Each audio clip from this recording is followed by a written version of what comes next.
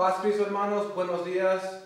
Espero que todos están bien y que están disfrutando la vida. En este día estamos muy agradecidos con el Señor porque Él está en este lugar. Hermanos, nuestro deseo es de verles muy pronto y en esta mañana, mientras que estamos separados físicamente, vamos a estar unidos en el Espíritu. Amén. Ahí como, hermanos, ahí como están de pie o sentados, vamos a levantar las manos Vamos a, exaltar el nombre de nuestro Rey, el Señor Jesucristo. Amén. Señor Jesucristo, tú eres bueno, tú eres el Todopoderoso, tú eres el todo para mí. Y Señor, tú has sido fiel, Señor, más fiel, Señor. Aleluya, que cualquier otra cosa o persona en, este, en esta vida. Señor, en este momento queremos darte la honra y la gloria, porque tú, Señor, eres bueno. Tú, Señor, aleluya, eres amoroso. Y tu amor, Señor, ha cambiado nuestro destino, nuestro futuro, nuestras almas. Lord, you changed everything because of your love, because of your salvation. You've done so much for us, Lord, that we cannot even, Lord, begin to thank you enough. Señor, en esos, esos, momentos queremos darte las gracias porque tú, Señor, nos has salvado, Señor, nos has rescatado de, Señor, nuestros pecados, de las tinieblas, de la muerte, pero tú, Señor, tienes mucho más que darnos. Pero no hemos, Señor, venido, Señor, solamente para recibir, pero también, Señor, hemos venido para exaltarte, para honrarte glorificar tu nombre. Y si tú, hermano, ahí en su lugar, quieres, aleluya, darle un aplauso, vamos a darle un aplauso, porque el Señor merece lo mejor. Amén. Yo le voy a pedir, pedir que nuestra hermana Janelle nos ayuda con este canto de agradecimiento y adoración. Amén. Música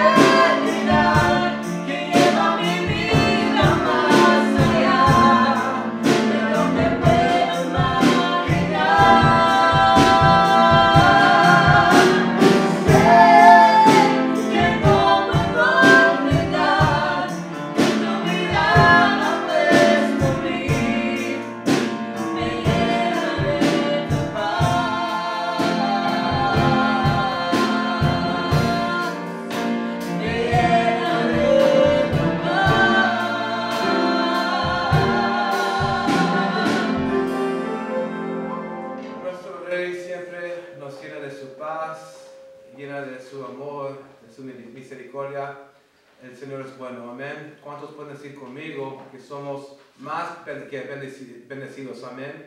Somos la gente más rica en todo el mundo. Hermanos, nuestro Señor es bueno y nosotros en este momento queremos ah, extender nuestro, nuestra gratitud a ustedes que nos han ah, unido con nosotros en oración y también en ayuno. Se puede sentir una, un, ah, espíritu o una, una, unción muy hermosa y el, el, pastor ha pedido a los ministros también que se unen en oración y en esos momentos en oración, hincados o sentados, se puede sentir la presencia de Dios. El Señor está moviendo, el Señor está haciendo grandes cosas y Él todavía no termina. Amén. Bendiga a nuestro hermano Steven. Por sus palabras tan agradables. Hermano Paz de Cristo, en esta mañana venimos ante ustedes dando la honra y la gloria a Dios porque nuestro Dios es bueno. Para siempre es su misericordia y Él está con nosotros. La providencia divina, la bendición divina, la protección de Dios es con su pueblo. Él nunca nos va a dejar, Él nunca nos va a desamparar. Y mientras estemos confiando en Él, todo saldrá bien. Antes de empezar, quiero decirles que el hermano, uh, el asistente pastor Lío, doctor Lío Maffei, está trabajando en el hospital, por eso es que no lo han visto, eh, ¿verdad? los domingos. Y vamos a orar por él para que Dios lo bendiga, lo proteja y lo guarde a él y a su hermosa familia. Hermanos, en esta mañana quiero dejarles un consejo, un pensamiento, y vamos a hablar acerca de la devoción por Dios. En cada uno de nosotros debe haber, hermanos, una devoción por Dios, una devoción, devoción espiritual.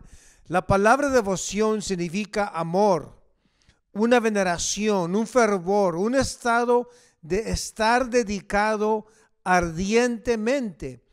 Y podemos, una de las cosas que admiramos de, de David es que él tenía una devoción ardiente por Dios, por la presencia de Dios.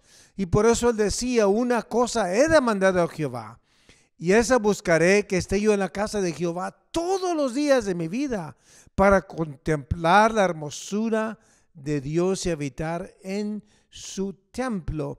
Esa era una de las cualidades más sobresalientes de David. Y lo que David, eh, él quiere comunicarnos a través de sus salmos, es de que el objeto principal de su vida, hermanos, era de estar ante la presencia de Dios.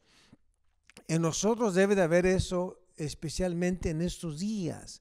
Si hubo un tiempo que usted y yo necesitamos la presencia de Dios, son en estos días peligrosos por los cuales estamos atravesando.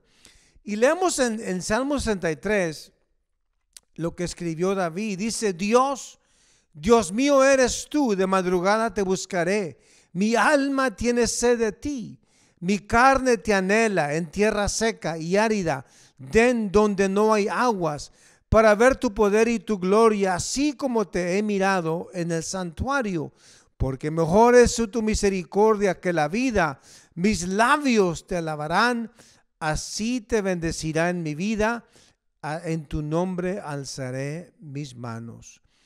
Cuando, cuando David escribió eh, este salmo, él venía huyendo de su hijo Absalón. Absalón había creado, hermanos, un golpe de estado en el cual él, hermanos, eh, había envenenado la mente de muchos de los habitantes de Israel. Entonces él se había levantado en contra eh, de la autoridad de su padre y deseaba matarlo y quitarle el trono. Entonces eh, David tuvo que huir de Jerusalén porque él no quería, hermanos, confrontarse con su hijo Absalón porque él amaba a su hijo. Y, pero su hijo lo había traicionado. Entonces aquí miramos, hermanos, a David que se encuentra en el desierto de Judá. Y estando en el desierto, todo lo que miraba David eh, era una sequedad, una aridez, hermanos, y todo el desierto lo miraba, ¿verdad? Eh, todo lo que miraba era muerte. Y exactamente así se encontraba David espiritualmente. Él se encontraba en el desierto de su vida, hermanos, hablando espiritualmente. Y por eso Él dice, verdad, mi alma tiene sed de ti. Mi carne te anhela en tierra seca y árida donde no hay aguas para ver tu poder y tu gloria. Lo que David estaba haciendo, él estaba haciendo una alegoría. Él estaba comparando, hermanos, haciendo una semejanza del desierto, de la aridez, de la sequedad. Aleluya, donde, ¿verdad? Cuando hay desierto, cuando a través del desierto, uno siente una sed por el agua. Pues de esa manera se encontraba David hablando espiritualmente. Él tenía una sed espiritual y él necesitaba la frescura, las aguas espirituales que única viene, vienen a través, llegan a nosotros a través de la presencia de Dios. Y nosotros, hermanos, muchas veces nos encontraremos en ese desierto espiritual. Tal vez en estos días cuando miramos, hermanos, ¿verdad? Este virus, estas enfermedades, cómo ha estado afectando mucha gente. Cuando miramos, hermanos, ¿verdad? A la rebeldía, la destrucción, las quemazones, hermanos, de esta gente que se ha levantado en contra de la autoridad. Tal vez a nuestro corazón, hermanos, puede entrar eh, eh, eh, esta, esta sequedad hermanos, espiritual, cuando miramos todo eso. Y muchas veces vamos a pasar por ese desierto espiritual a través de la lucha, las pruebas, la dificultad de los problemas y los retos de diferentes índoles. Y en esos momentos necesitamos la frescura, el agua espiritual, que únicamente lo podemos encontrar eh, teniendo una intimidad con Dios. Aleluya, gloria a Dios. Y a través de esta intimidad, hermanos, a través de la oración, a través de ese acercamiento a Dios, al alabar a Dios, al, levantar las manos y pedirle de su ayuda, entonces baja el Espíritu Santo y nos refresca y nosotros nos podemos sentir mejor. Y por eso también podemos leer en Salmos 73, 25, donde dice, ¿a quién tengo yo en, los cielos sino a ti? Y fuera de ti nada deseo en la tierra. Estos versículos denotan la intimidad y cercanía que tenía David con Dios. Para este hombre era una delicia hablar con Dios y de experimentar la presencia de su Santo Espíritu. Era algo diario continuo y aún en medio de las pruebas, hermanos, del cansancio y la fatiga, todos nosotros debemos de pugnar, de sentir la presencia de Dios todos los días.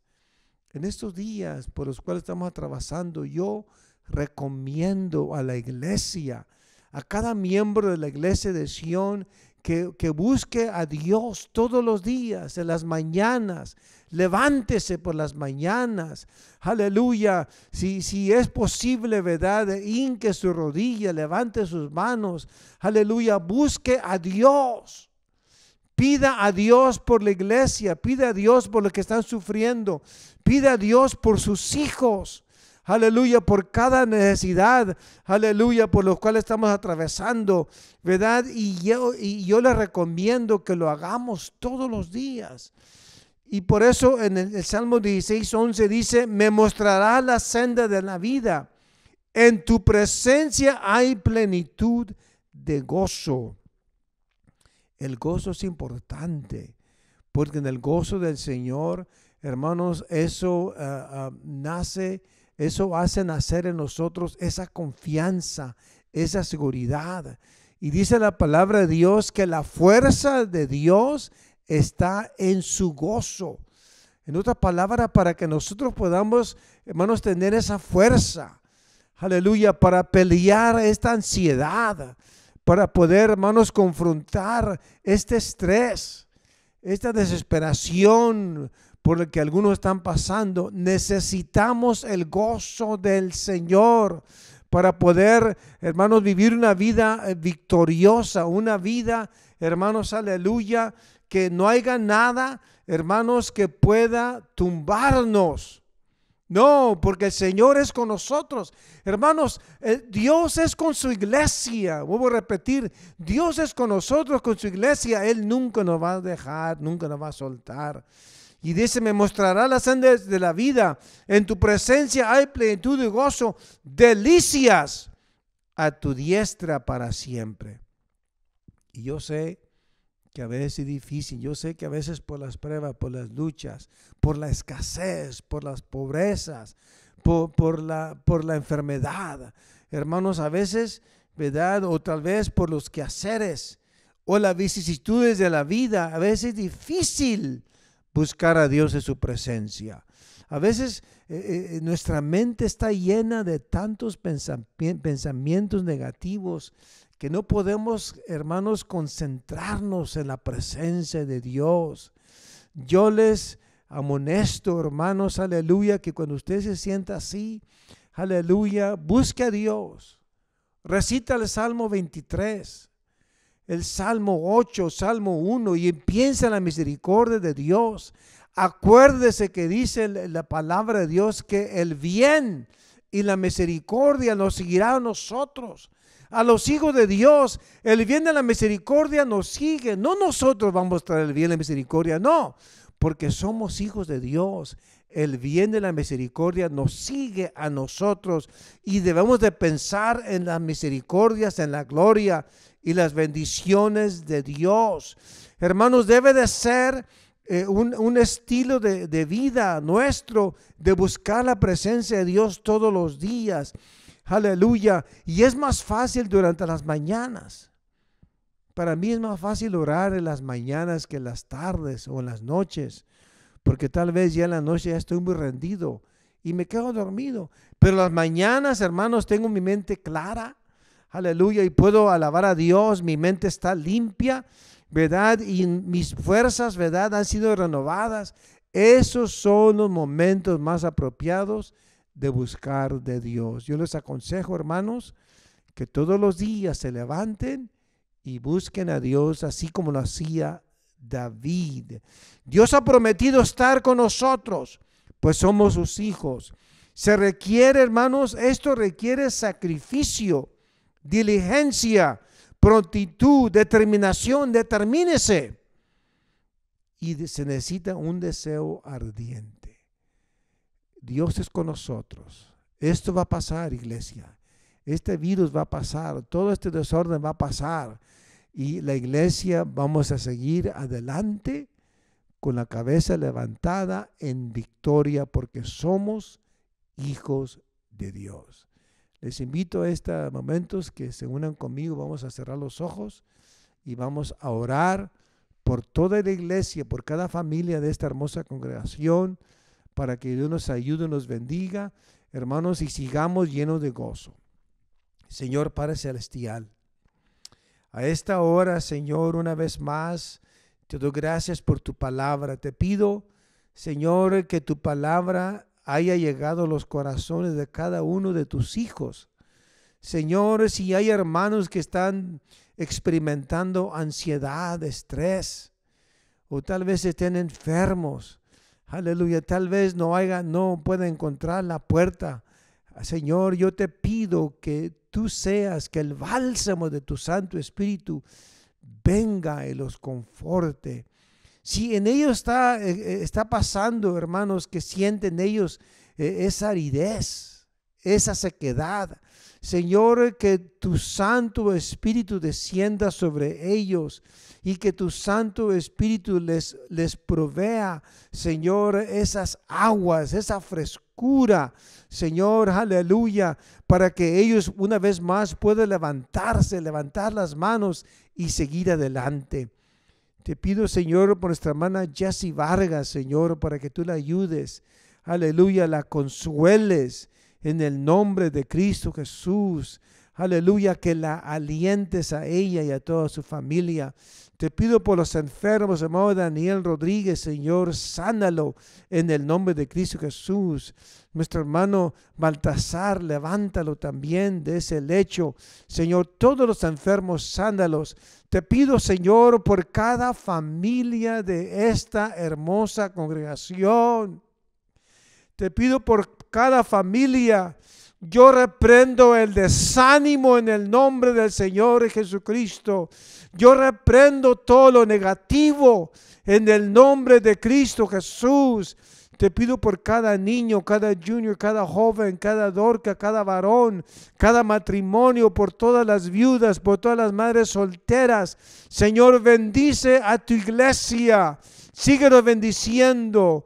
Y yo sé que tú nunca nos vas a dejar, porque somos tu pueblo, somos tus hijos. En el nombre de Cristo Jesús. Amén. Amen. It's a wonderful word from our pastor, and I want to thank God for his leadership this time and his prayers and, and his wisdom. Thank him and his wife. And they've been like family to me. Amen. They've been close to me. I said last week, God's given me a, a pastor. It's a lot like my dad, and the dad is a lot like my pastor. And sometimes you hear multiple voices in your head. You're not sure which one is which. But you start learning that they both want the same thing for you. Amen. God is good. We're going to open up our Bibles to Revelations chapter, sorry, Revelation chapter 2, verse 4. Uh, an old time pastor that I've been listening to uh, says that, and it's true, a lot of us Christians, especially apostolics, we like adding S to things. So, like Revelations, other restaurants, we, we did that before too. So, Revelations chapter 2, verse 4. And today we're talking about our number one love. Our number one love. And you know what? If we could, if you don't mind, let's go ahead and read that in context. And those of you guys that use Bible Gateway know what I'm talking about. When you look up a verse, it gives you that option to look at it in context. And I think it's good. It's good to look at the whole picture, or at least a, a greater sample size of, of the word. So Revelation chapter, Revelation, there you go again. Revelation chapter 2, verse 2 and 4, and God's talking to the church of Ephesus. It says, I know your works, your labor, your patience, and that you cannot bear those who are evil. And you have tested those who say they are apostles and are not, and have found them liars. And you have persevered and have patience and have labored for my name's sake and have not become weary. Verse 4 Nevertheless, I have this against you, that you have left your first love. Remember, therefore, from where you have fallen, repent and do the first works, or else I will come to you quickly and remove your lampstand from its place, unless you repent. Let's go ahead and pray today. We're going to be talking about our first love. Amen. Lord Jesus, we come before you. We thank you for your mercy and love your salvation, and for all the things you've given us.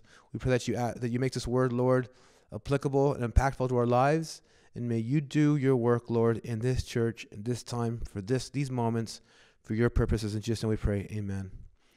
Before I get started, I want to go ahead and thank those that have been united in prayer and fasting. Um, the last few weeks, we've had different people pray and fast, but a lot of them have actually been uh, multiple prayer volunteers, and Last night we had a few people raise their hand. We had Sister Calderon, Sister Sanchez, Sister Samano, Brother Eric, Sister Viad, Sister Buffet, and we had Brother Henry volunteer to pray a couple hours. Thank you so much. You know, there's power in prayer and there's power in unity. There's power in devotion, and that's what we are all about. That's what we should be all about. So today we're talking about our, our first love and I I was praying about this, and it's something that came into my my view, into my heart, because the young people are supposed to be praying or, or reading along with me in the Book of Revelation uh, the next month and a half. And in this verse, I heard uh, I heard brother break it down in the original language, And instead of it saying your first love, it actually says it this way You, I hold this one thing against you that you are leaving your best love. Isn't that amazing? You are leaving your best love. And in this portion, the church had gotten off track. Ephesus was a, a, a church that was impacted by the ministry of Paul and it was had done great things. In fact, um, those that that have have researched it and have excavated um, the the area have found that that a lot of the temples were that were that had previously been pagan were transformed into Christian worship centers because of the Holy Spirit's um, move in that place. And the Bible says that they were actually great in Ephesus. They were great workers in the mission fields as well. So, in many ways, the church of Ephesus represented the church at its highest point.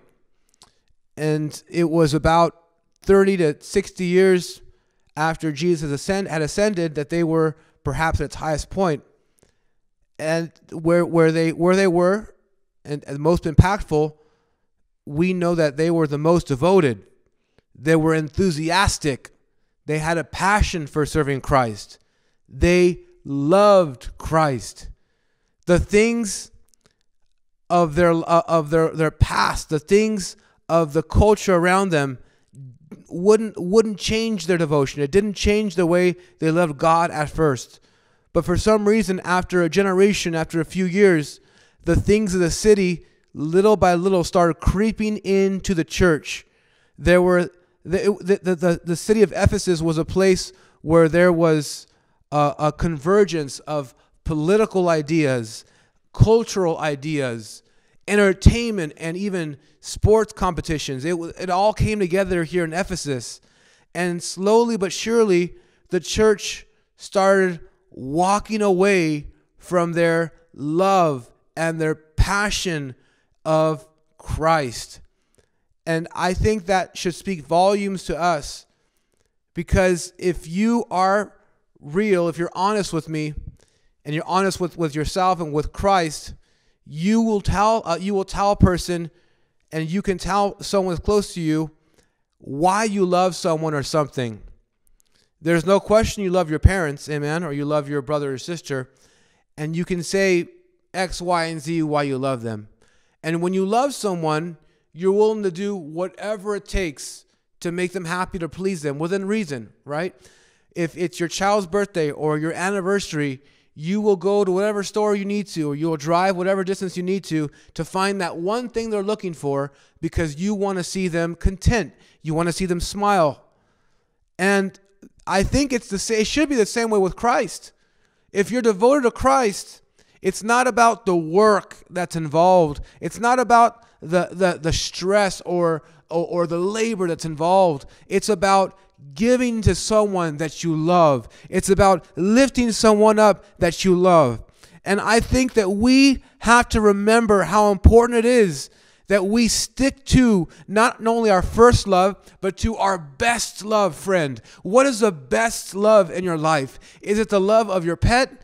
Is it the love of your TV show? Is it the love of your podcast? What are you clinging to that is consuming the best of you, the best of your energy, the most of your time, the greatest innermost part of your soul? What is it that you're clinging to this morning? And ask yourself, is it truly rewarding your soul? I think that sometimes we get sidetracked, just like the church of Ephesus, and we start creeping closer to things that have no benefit. There have been a lot of things going on around us, and I understand that it's important to look at things and to consider where we are and what we value, and it's good to live a Christian life in all regards, but we should not get sidetracked by the side order, right? And what I mean is that that Jesus should be the main entree of our life. Just like when you and I sometimes order something at a restaurant and they serve you bread, don't get filled up by the bread, friend. Wait for the steak to come, right? You can get a couple rolls here and there, but don't get filled up on those bread rolls. Wait for the main course. And so sometimes we get sidetracked by things. We start getting sidetracked by our work, by our career, by our education. And then pretty soon, before we know it, we are giving our best and our, our greatest efforts to those things, even though those things don't love us back. Those things cannot love us back. Your friends, although they are close to you, although perhaps they've been great friends, they weren't the ones that laid down their lives on the cross of Calvary. They weren't the ones and aren't the ones that healed you from your wounded heart, that healed you from your broken past. They weren't the ones that saved your soul and gave you a destiny forever in the kingdom of God.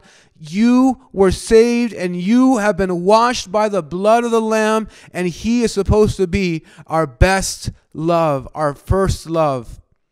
When you love someone, you enjoy connecting with that person, and it rewards you when you do something with them in mind. How many parents do you know have made sacrifices for their kids? Amen. There have been so many sacrifices that my parents have made, and I'm sure your parents have made. Can you remember back to a time when you were sick at night and your parents stayed awake with you all night? My parents would just kick me outside. Just kidding. But my mom would, would wake up in the middle of the night. And it doesn't matter what kind of sickness I had, and I don't want to get into detail, but moms will clean up when their kids are sick and things that aren't very nice to talk about. They'll cradle their kids late at night, and my wife does that even now when our, my kids get sick. By the grace of God, they haven't gotten sick in a while. But moms make the greatest sacrifice, and dads do too. They wake up early in the morning. They get up when it's dark, and they get home sometimes when it's dark still. So why? So they can provide for their families. Their dads, your dads could could take the money they make at, at work and go to the casino or go and live it up and buy themselves a nice things, but they don't because they want to provide for you. Why? Because they love you. When you love someone, you don't count the sacrifice as work. You don't count the stress as, as something that's greater than the end result. You work because you love them. You invest yourself in them because you love them. How many of you guys, how many of you friends are still truly in love with Jesus and you don't mind making a commitment to Him? I, I posed a question to you friends on Instagram in the youth group. I asked you, do you believe in Jesus and why do you love him? Why do you believe in Jesus? And I heard some beautiful words of what Christ has done for you in your lives. And a few weeks ago on on our Zoom conference, on our, our midweek mid, midweek Wednesday Zoom conference, I had a few young people step up and tell us why Christ was real to them. And if you are a believer, you've got a defining moment. You've got one or two defining moments of when Christ really became real to you. When something happened, when you couldn't rely on anyone else, and He came through in a way that no one else could have come through. Do you remember that? Do you remember why you love him? Do you remember what he did for you? Do you remember what he's doing for you, friend? What he's done for you daily and, and weekly and even by the hour and by the minute in the times when you couldn't rely on anyone else? But do you love him today? Is he your first love today? Is he your best love today? Are you seeking him? Are you getting to know him? My wife and I had the, the, the a few minutes to spare last night, and so it doesn't happen a lot. In fact, my wife and I don't have a lot of time watching TV together at all, actually. And God's my witness. Without sports, I don't. I probably only watch TV like ten minutes a week, or maybe twenty minutes a week. Not very much, not very much at all. But when sports comes back, I'll be a guilty sinner again, and I'll watch some basketball games here and there. But my wife and I were watching a movie called Fifty First Dates, and it's not a, a it's not a movie that it's not it's not a movie that is very new. It's not a movie that is is um, something that a lot of the, the kids that have been born in 2000s have probably watched, but it's it's a cute movie about a guy who has to make a, a girl fall in love with him because she has um, short-term memory loss. So he he he has to make her fall in love with him every single day for like 50 days. And there are some cute parts where he finds out, you know, what she is into, how she likes eating her breakfast, what kind of flowers she likes. And it made me think about the times that I went out with my wife and I got to know her. And sometimes when you're you've been married for a few years, it's good to remember about those things and remember how you fell in love with that person. I remember I was cold one day in, in a convention service and my wife took off her jacket and gave it to me. I'll never forget that. But I'm just kidding, Rosanna. That's not the way it happened, and I know that. I'm just being silly. But it's good to remember back in those days and, and remember why you fell in love with that person how exciting it was, and it still is, and how beautiful it was to know what made them smile, what made them laugh, what food they like to eat. Isn't it wonderful to remember the first time you spoke in tongues, when you got baptized in the name of Jesus Christ, when you first saw your first miracle in your own life? That is the love that we're talking about, and that's the love that you and I have to get back to, young people. That's the love that you and I have to live for, have to commit to. Now's the time to do it. Don't wait until it's too late. Don't give up your rewards. Come back to your first love. Come back to your best love. And I want to invite you to read your word with me. Read along with me. Let's learn together. If I can be honest, I'm concerned for a few young people, a good amount of young people that are not reading, that are not participating that are not answering questions when I when I throw them out to you. I answer questions not just because I want to know the answer, but I want to know are you there? Do you hear me? Are you still with me? Do you still believe like I do? Let's go. Let's get this job done together. Let's get to know him. Amen. Let's get back to our first love. Let's get back to reading and learning and praying and believing that Jesus is the only one for your soul. Let's go ahead and pray. Heavenly Father, we come before you and we thank you for your love. We thank you for your mercy. We thank you for your presence. Lord, we know that sometimes we stray a little ways, Lord, from where we've started. We know, Lord God, that sometimes we take you, Lord God, a little too lightly. We know, Lord God, that we take, allow other things to take, Lord Jesus, priority over you. May you, Lord Jesus, rebuke that spirit, Lord, of complacency. May you rebuke that spirit, my God, of slothfulness, that spirit, my God, of Lord Jesus, of not caring, and may you give us a passion. May you wake up a fire within this church, within the young people, Lord God, that are waiting on the sidelines. May they get back in the race. May they read the word. May they pray to you. May they fast, Lord Jesus, in unity with their brother and brothers and sisters. In your name, my God, we ask, Jesus, that you return us to that place where we first met you. Jesus, and we pray. Amen. We want to thank once again our brothers and sisters that are praying with us and fasting with us. I want to thank Caleb and Natalie that have been helping us out, Mr. Patty and and the social media team as well. We love you guys, and we hope to see you very, very soon.